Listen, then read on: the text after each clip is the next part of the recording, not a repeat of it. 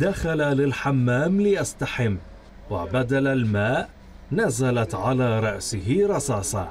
رصاصة طائشة استقرت في رأس حسين فقتلته.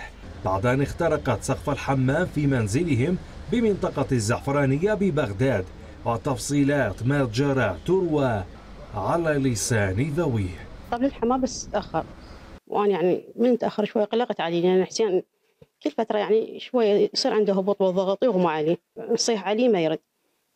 فقلقنا عليه والله بس فقدت أنا بذيك اللحظة يعني خفت عليه حيل. ظليت بس أصيح. جت الناس جوارين يعني على صوتي. كسروا الباب. وفتحنا الباب يعني من فتحنا الباب يعني لقوا حسين يعني بالقاع مدد ودم براسه طلاقة بالراس. يعني طابت له من السقف مال البيت.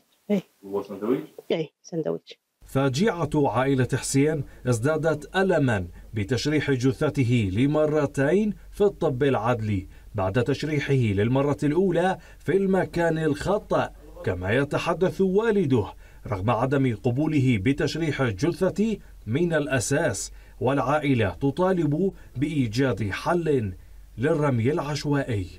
تقريبا ب 11 استلمنا حسين. هذا بعد رجعوني نسينا إحنا. إحنا شرحنا بطنه بس بقى طلعت عنده طلاقه بالراس يا أنتم ما تدرون؟ طيب تقرير. يعني صار لكم خطأ بالتشريح؟ خطأ بالتشريح. أنتم غير شفتوا تقرير أنتم يعني يعني الظاهر هو أي واحد يعني يجي ياخذ غاسن يفتحوا بطنه وشرحوه وذبوه وشمروه. إذا الدولة ما تلقى حل وبالقوة ماكو فايدة. ماكو فايدة. لازم تجرم هذا اللي جاي يصير. مثل ما هو مو بس إحنا. مو بس إحنا لا لا. جزء مئات وألاف. وبوفاة حسين صاحب 17 عاما اسم جديد يضاف لقائمة ضحايا الرمي العشوائي. أرواح تزهق يوما بعد آخر. والإجراءات ما تزال خجولة في القضاء على هذه الظاهرة رغم استفحالها دون توقف.